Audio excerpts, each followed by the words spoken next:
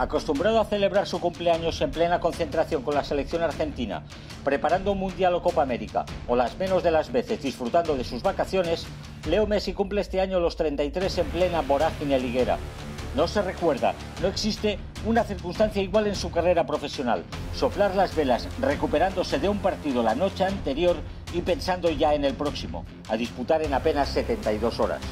Nada es normal alrededor de Messi, el tipo de los 700 goles, el mayor estandarte de la mejor época de un Barcelona al que se sumó siendo un niño y del que se ha acabado convirtiendo en el personaje con mayor poder. Ni presidente ni entrenador, nadie le hace sombra alrededor de un Camp Nou pendiente del más mínimo detalle que le tenga como protagonista. Y a medida que avanzan los años se va instalando un temor mudo pero constante.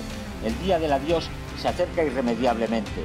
Messi ya se plantea su carrera deportiva año a año lo ha expresado a menudo en los últimos tiempos, admitiendo que pasados los 33 empieza a estar en una cuenta atrás que provoca pavor. Porque está preparado el Barça para vivir sin Messi.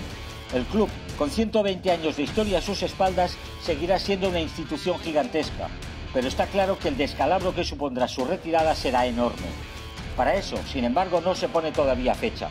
Leo, cuyo contrato acaba en el verano de 2021, empieza a establecer los términos de su nueva relación con el Barça, dándose por hecho que ésta se prolongará al menos por tres o cuatro años más en los que seguirá siendo su líder futbolístico y espiritual.